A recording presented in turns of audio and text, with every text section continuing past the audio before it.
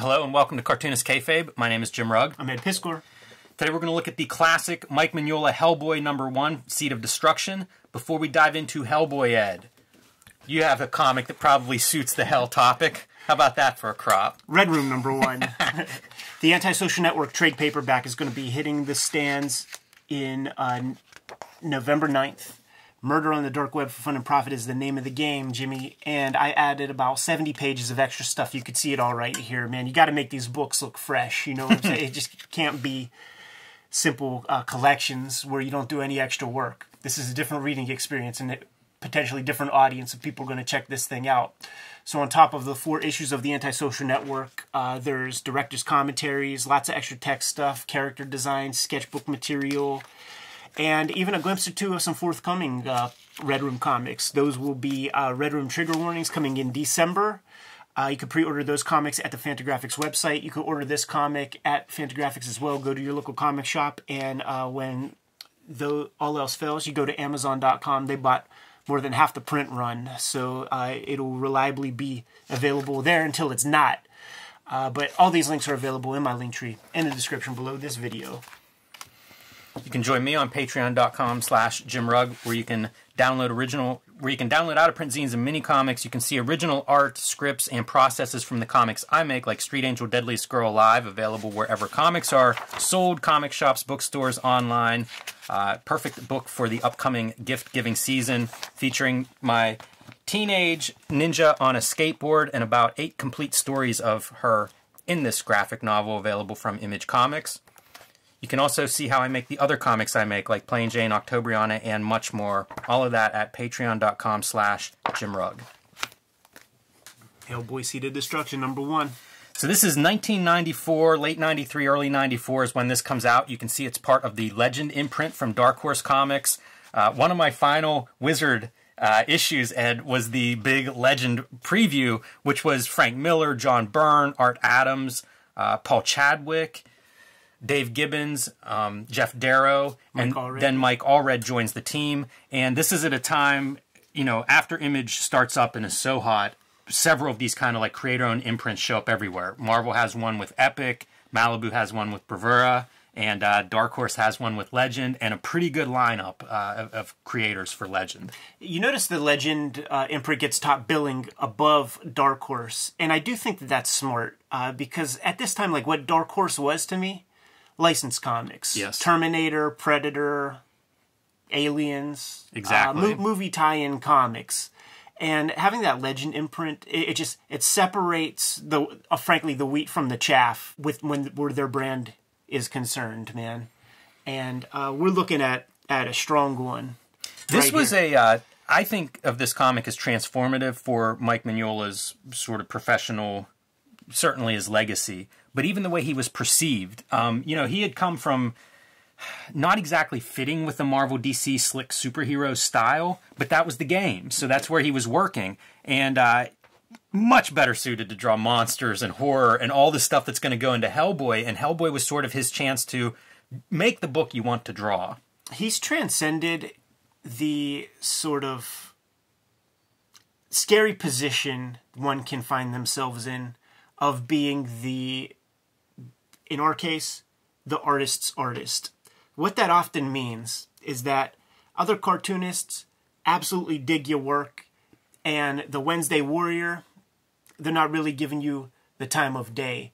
These kinds of cartoonists almost never transcend that. They almost never break out of that kind of box uh, for whatever reason. You know, they don't have their masterpiece work or or or, or some something that like makes other regular people kind of like just gravitate toward them.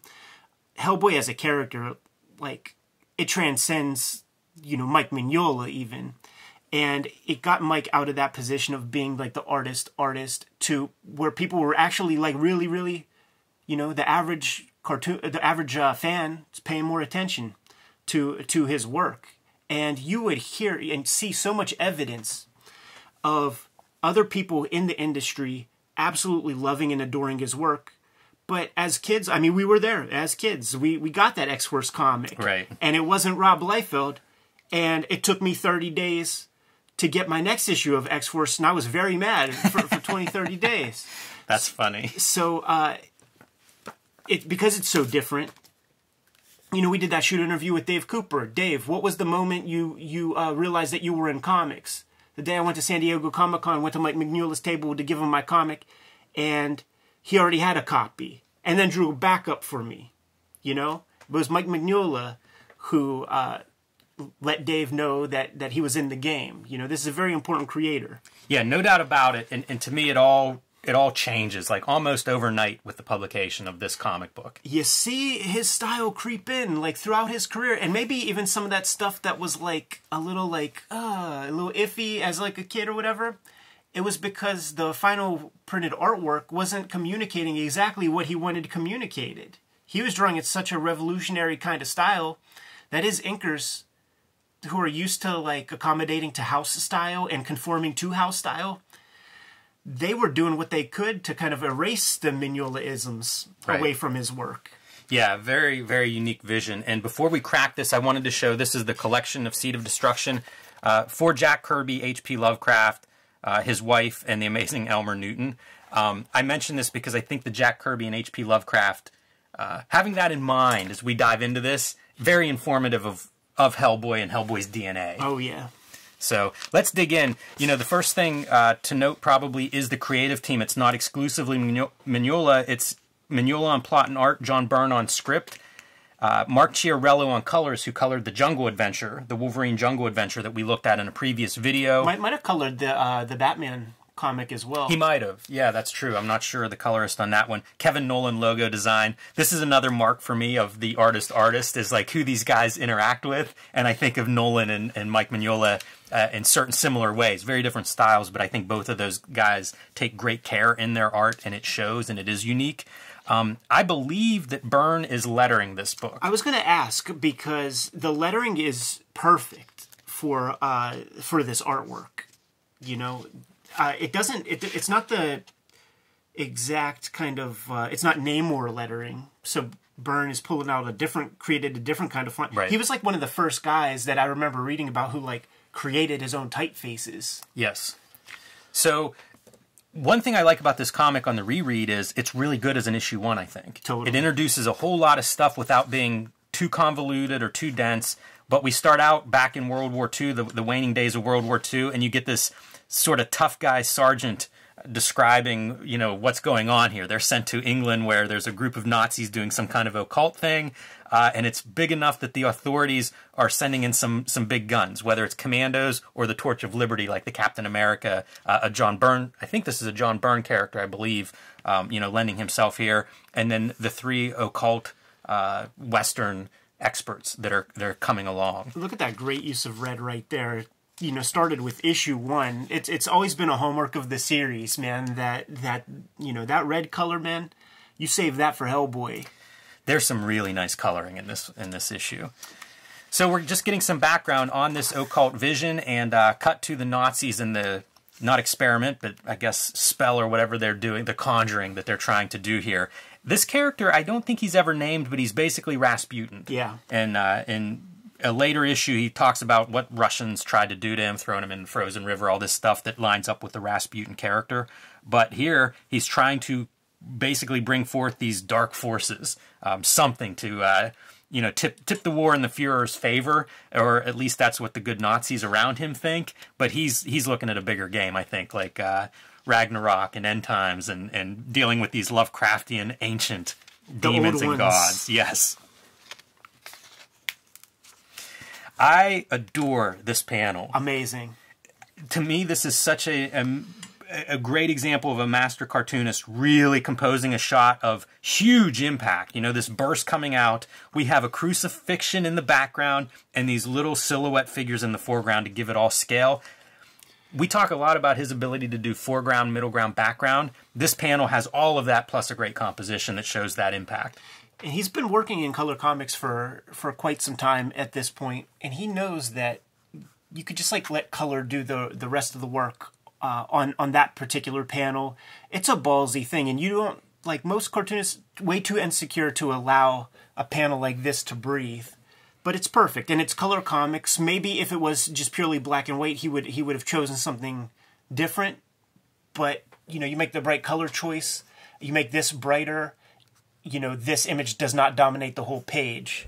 And having these bottom heavy characters really sells the scale Yes. of this thing. Yeah, exactly. Because I mean, they're close. These are the closest thing to us in the panel, and they're tiny. Yeah. Yeah, it's it's really awesome. You know what's neat about these these color choices is um he does these big solid blacks, right? Where black is almost a color. Yeah. Then he treats color the same way. So these these flat fields of uh, black or color, they're kind of the same. Where black is a color on these pages. Yeah. Doesn't always work that way, but uh, And this is the era of computer coloring, lens flares, radial blurs, all that stuff. And it's a very clear choice. We're not going to be doing that stuff in Hellboy. Just because you can doesn't mean that you do it. And he's worked with, I think Matt Hollingsworth did a turn in Hellboy for a bit, and then Dave Stewart for a long time, and who's got, I don't know, a dozen Best Colorist Eisner Awards on his shelf. And you often hear Mignola talk about um, he works very closely with the colorists Yeah.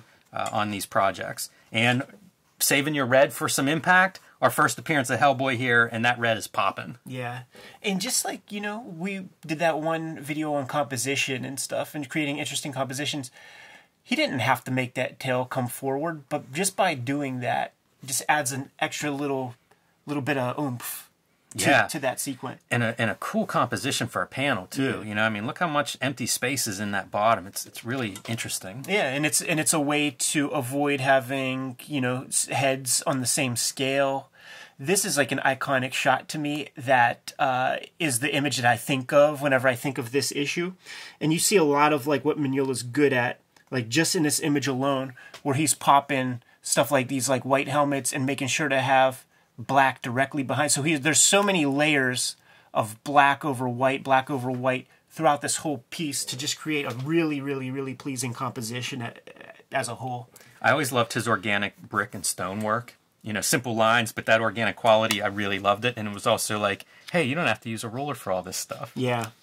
kind of maybe maybe to the detriment overall of, of us, but uh, it was kind of nice to be free of that.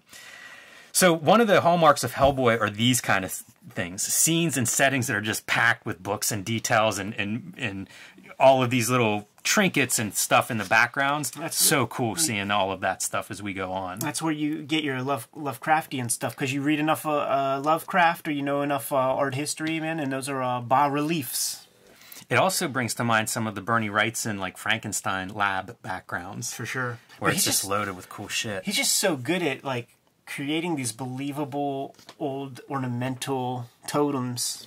and uh, great color once again where we have this blue introduced because we're in a new scene and it's 30 years later let's uh, let's make it look different and this feels like a guy right out of uh, bram stoker's dracula which mignola had done the adaptation for i don't know a year or two before this and gives that a lot of credit for the evolution of his style and i think you see some of that you know using more of these heavy blacks leaning into that stuff How's that for an interesting color for a flesh tone?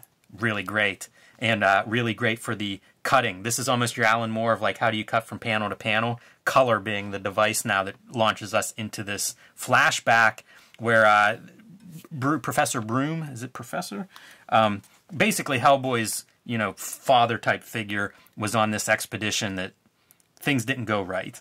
But man, getting into this, this always reminds me of uh, Uh, like Milt Caniff has that famous snow panel of the plane flying over the mountains, but beautiful and just that little bit of blue to give you the shadow on the snow, gorgeous. The blue is good. The black right there, cutting like to let us know that this is a different peak. This is not a part of this right there, man. And you know, one life to, I mean, one line to sell you on it. Yeah, really great stuff visually. These are deliberate lines, you know. Like I feel like I could imagine if we saw the original of these pages that we would see, you know, this kind of line outlining these black shapes, and then he fills in the color. You know what I'm saying? Like he's not just dabbing the brush to make those shapes. I've seen a lot of people talk about like you know you see the white in there like little little bits of white where like the black is not filling it in like you know fill in your blacks perfectly it's more of just kind of dabbing in that black but it's something that I've seen people talk about in his art and how his blacks have that quality of I don't I don't know what what to describe that as but it's not like a just painting in the blacks It's uh it's not your paint bucket fill tool Yeah, it's not. And and like you know, there's very few like true true blacks in nature. You know, you need a full sort of vacuum to with no light.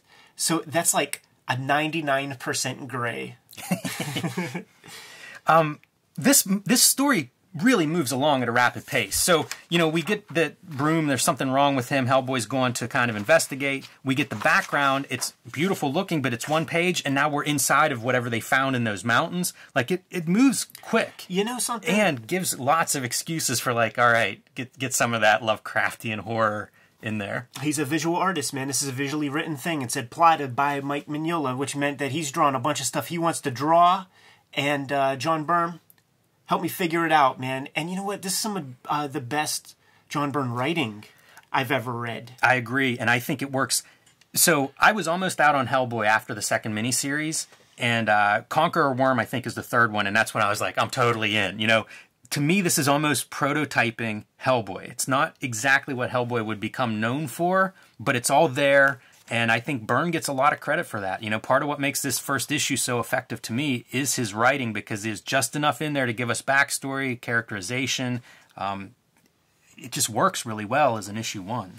The frogs are important when it comes to Lovecraftian lore because if you read enough Lovecraft, you hear this term batrachian a bunch. So then you got to Google that or look in your dictionary and see what the fuck batrachian means.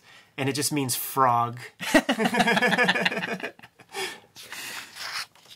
Yeah, kind of, kind of a, a sad scene here as uh, his mentor figure is falling apart mentally from whatever he was exposed to in the Arctic.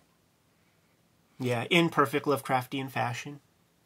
Man, it's just it all works. Like all the sparse drawing stuff, perfect for these French doors. And he had run through this into this other room, leaving Hellboy behind. No extraneous details here. You know, we go from this super busy, cluttered office to like our focus is on the blackness of what's in that room, what's happening. And just these these papers sell, selling the suction of uh, of our guy back there cutting that one piece of paper in front of the door you know that goes along with that composition exercise thing that that that we covered you know some time back man would just it's way more pleasing of a design like It creates that middle ground. it does it's so subtly Yeah, totally.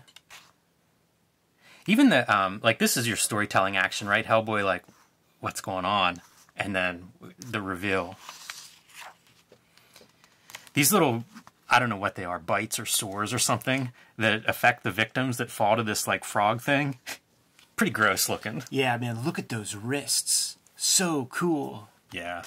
That's another really nice crop with Hellboy being the top part of Hellboy being cropped off. I think think's a good panel. and using his rapidograph to create the the feathered lines that we associate with comic book inking. You know, that's not like a flick of your Right. Hunt 102 or a brush or something. That's a- something that's that would fall line. away too you know as, as uh, time passes it's one of those pieces that doesn't survive but man that's a pretty iconic one the hunched over hellboy hunting for his prey i think it's interesting that the gun goes into the darkness i don't know that he would do that the same way I'm either so glad you brought that up because I was going to say the same thing. Like like he being a master of layering on these shapes, he would never do this. Like as he continues to uh, develop that style and and and figure all of that out. So like that is very glaring for for this thing. How cool is that? love it right there. Having these black panel borders for a lesser cartoonist could get so dicey when it comes to tangents and creating confusing flow. You know, like when you have this kind of thing, you need these captions right here. You take these captions away, and this could be Hellboy's silhouette. Mm-hmm. Uh, so there's there's you- you're you're playing with some high octane stuff that is not for amateurs on these pages, man. how good does the red pop on here too So good. it's it's that's a pretty great uh, spread, you know, centerfold spread. And uh, again, issue one, like we're getting fights with monsters, we're getting some origin stories. There are relationships that are established. It's it's a lot of information, and yet it doesn't feel crowded. Yeah. That arm, like just this whole pose is so good. And like when you see stuff like this, and I saw it on some earlier Hellboy faces, there's a Kevin Nowlan component to some of this stuff. Like, like are they looking at the same stuff? Even this kind of face, there's like a Kevin Nowlan piece of energy. Is there some ghost work being done? I mean, it all feels Mignola-ish. Right. But like, go back uh, two pages, one more. Some Kevin Nowlan in those eyes, man. His Killer Croc or something. Yeah, I, I- think you're right. And, you know, those guys did sort of bump into each other. Nowlan inked Mignola on different stuff. I think he inked him on an alien story that, that Byrne might have written. Um, so they, they definitely and you know did the logo like obviously they were they were in contact with each other to some extent. I look at that and I think like uh, they both did some designs for the Batman animated series. You know like there's there's places I imagine where those two uh, you know they've talked comics with each other. We've done very little kind of collaboration on that front. You've done you've done inking professionally and stuff. And I wonder if, like, as a penciler, you you you hand something off. I remember Clowes saying whenever Chester Brown like redrew that eight ball issue one cover, he learned a lot about his own artwork, seeing it reinterpreted by a cartoonist he likes. So if you're doing some pencils and then uh, you get a really cool effect, you get a Kevin Nowlan ink in you, you you, you might learn some things. I follow him on uh, I think it's on Instagram. He's been posting a lot of like covers that he's done that go from sketch to pencils to inks to color. Uh, yeah, I learn a lot on Instagram just looking at Kevin Nowlan stuff. that's cool. Hey, these monsters are th- this frog monster's awesome. Yeah, it is. It's so simple and yet great. The teeth are great, the tongue, everything, the shape of that that monster just all works. The first of a, a long lineage of great Mignola Hellboy monsters. And I love this kind of stuff. Whenever he finally dispatches it, the monster's making its break and he shoots it. You know, like it's not going to get away from him. And uh, different color green for the blood. And whenever it falls, it's just bone shattering against the floor you know, for a guy who is sort of minimal in a lot of ways or simple, he's very good at getting motion and weight into these drawings. Yeah, very much so. And also, it's so it's it's beautiful artwork. That like it's a gunshot, but he does the whole scene without vulgarity. You know, like you see an open wound right there, but you know that's not Red Room. no, it isn't. I love the Byrne uh, pan- the captions. What falls from the top of the commode is a frog monster. What hits the floor isn't. This is good John Byrne writing. it's pretty good. You know, he's not showboating or anything. It, it, it all works for me. Mignola's great at architecture too, whether it's an old medieval castle or some like institute for the Bureau of Paranormal Research and Defense. And how great is that for a concept to throw in issue one? It's such a cool idea. It sounds good. I love that defense is part of the name of the institution. Good, good stuff, man. You know, th- those couple of words say a lot. Yeah, Jason Wynn work, working at the uh, bureau, man. Let's get that. Let's get that Spawn crossover. This is another place where like your exposition allows some characterization and to fill out that universe more. He's like, yeah, you're free to assemble your own team as always, letting us know that Hellboy not only works for this institution but is well respected within this world. Well, we got to introduce Abe Sapien and crew next issue, man. I think. Yes, that's exactly where we go. Uh, but of course, we've got to do a creepy haunted house and an old lady with her with her frog in the teacup. Feels perfect for a Hellboy comic. Yeah, yeah, it's all there, man. it's it's pulpy. You know, it has some of those superhero tropes, and I don't know if that's Mignola still kind of, you know, figuring out what this is going to be, or if it's a little bit of John Byrne bringing what he knows about monthly comic books into it. But it creates kind of this pulpy uh, character that I think defines the the what Hellboy does. The rest of his existence as a character, so much of it is here on the page in issue one. That's rare. Oh, totally. Yeah, I mean, go go hit our issue one uh, pl- playlist. Uh, you got to have your Watchmen like back matter after 1986 happens, man. So you got to have your little piece of that. This is beautifully graphically designed, man. Good typeface for that. In, in you know many fonts like uh, uh, like an askew kind of typeface where the characters are a little wobbly. You know, I think that's a little kayfabe. You know, that it's not like you just use an old typewriter to do that. It's much better than most of the type fonts that you'll see. So much uh, that better. are used these so days. much better, man. Yeah, pass as well. Um, the BPRD logo already figured out and looks good Yeah, from man. the beginning. Yeah, all of these pictures are, are excellent though. It's it just it's a good package.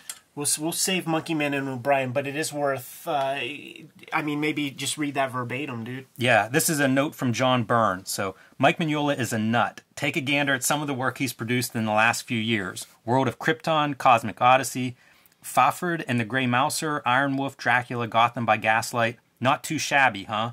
And now Hellboy, which he asked me to script. which is why he's a nut. He's already making up the stories and giving me enough in the liner notes that I'm only a few inches ahead of being a mere transcriber. I love working on this book, but I'm taking wagers on how long it will be before Michael realizes he can put words in the characters' mouths just as easily as I can.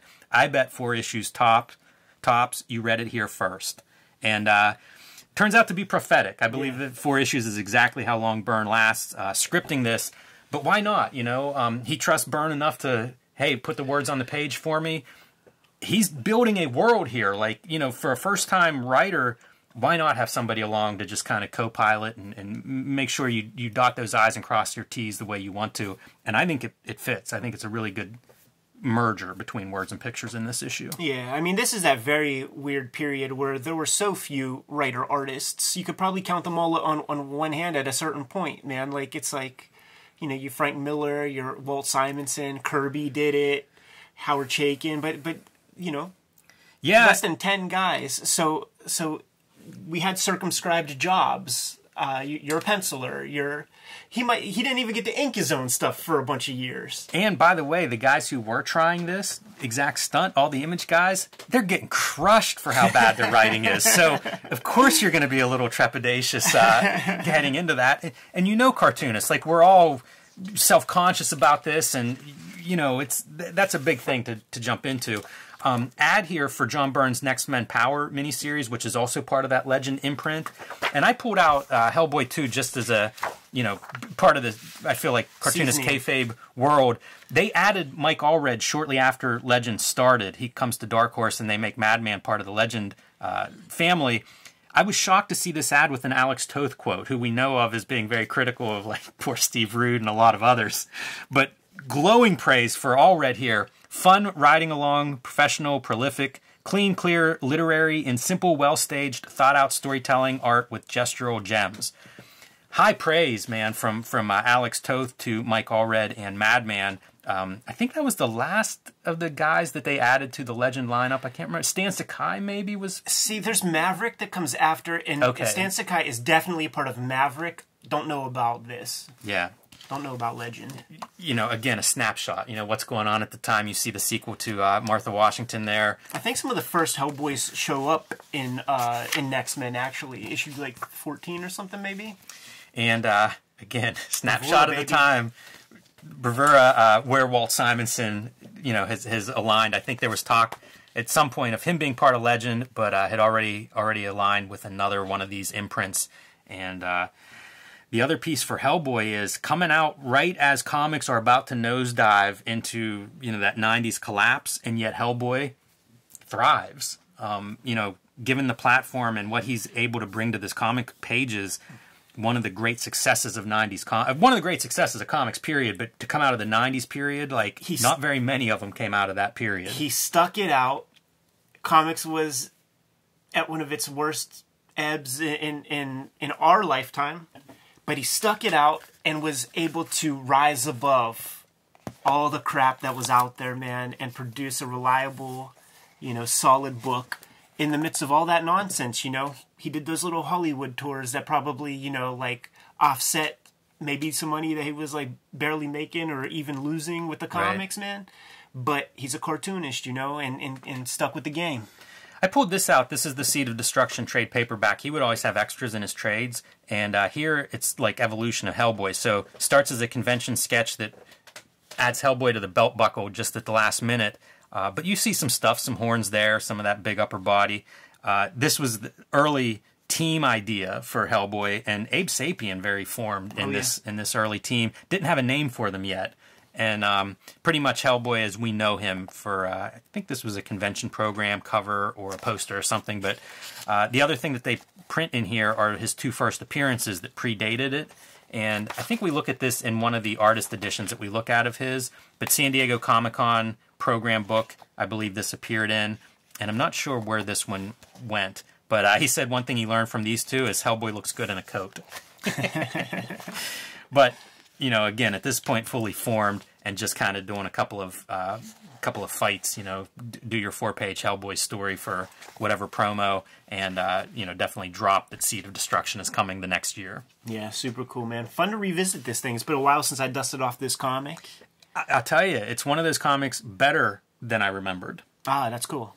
So very fun to get into it. Kayfabers, like, follow, subscribe to the YouTube channel, hit the bell, will notify you when new vids are available. What's out there, Jimmy? Join me on patreon.com slash Jim Rugg where you can download my out-of-print zines and mini comics. You can see a lot of my original art, scripts, process, layouts, how I make comics like Street Angel, Deadliest Girl Alive, Plain Janes, Octobriana, and more at patreon.com slash Jim Rugg. Red Room Comics in the Wild, Murder on the Dark Web for Fun and Profit, the Antisocial Network trade paperback hitting shops November 9th. Get it at your local comic store, order it from the Fantagraphics website. When all else fails, you go to Amazon.com. They bought half the print run, so they'll be sitting on a couple of copies for a little while. Uh, you can uh, pre-order the next round of Red Room Comics, though, directly from Fantagraphics at this moment. Uh, put in the orders at your local comic shop as well. Trigger Warnings is the name of that series. And uh, two issues are available pre- for pre-order uh, right this minute. All these links are in my link tree in the description below this video. Subscribe to the Cartoonist Kayfabe e-newsletter at the links below this video. You can also find Cartoonist Kayfabe t-shirts and merchandise at the links below this video. Jimmy, give them those marching orders, man. We're going to be on our way. Read more comics.